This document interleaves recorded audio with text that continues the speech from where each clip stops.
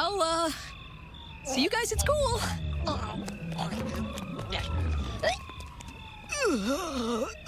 Oh.